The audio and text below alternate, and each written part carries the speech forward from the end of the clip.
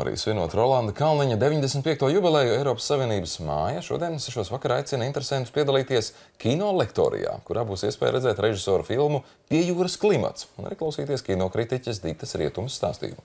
Tā ir unikāla iespēja, jo saglabājušās tikai 40 minūtes no kādreiz aizliegtās filmas. Filma ir restaurēta un tā ir izcilā tehniskā kvalitāte. Un plašāk stāsta Ilis Stranga.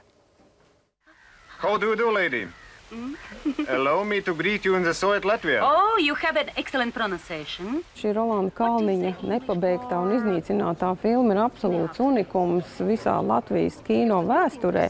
Tā ir absolūti dulla, traka, nepieradināta un drosmīga filma, kas pārsvītro realismu kā tādu un piedāvā ļoti spilgtu nosacītību. Vari montēt atpakaļ. Gan jau līs atkal. Kinokritiķa Dita Rietuma Rolanda Kalniņa 1974. gadā uzņemto filmu Piejūras klimats raksturo kā visu laiku paradoxālāko režisoru stila un ironijas eksploziju.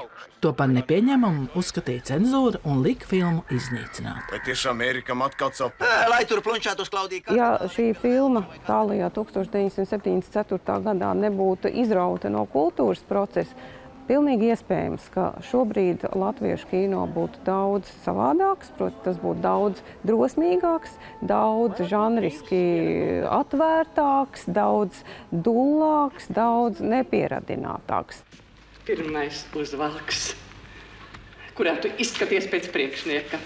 Rolands Kalniņš pēc scenārija tika ne no laba prāta. Viņam neļāva īstenot savu ieceru, bet iedeva viduvēju gāzes kantora darbinieku sacerējumu. Režisora nosacījums bija iet prom no realisma. Tur ir atslēgas vārds arī balts, vai balts fons, vai balta vide, jo kas Rolandam Kalniņam mm, ir bijis tuvs jau kopš mm, darba filmā Četri balti krekli, kas arī tika faktiski nolikt plauktā un nekādas kultūra, kultūra apritē šī filma nenonāca. Šī filma mm, vizuāli atgādina tā laika Rietuma Eiropas kino paraugs. Filmas stāsts ir par trim jauniešiem - Ēriku, Hariju Gunti, kuri strādā gāzes pārvaldē. Tomēr viņus vairāk interesē izklaides. Pludmalē Ēriks, uzdodoties par apelfabrikas galveno inženieri, iepazīstas ar skaistu meiteni Dainu, kur, kā izrādās, ir gāzes kantora jaunā inženiere. Režisors varoņiem piedāvā dzīvot dekoratīvā vidē.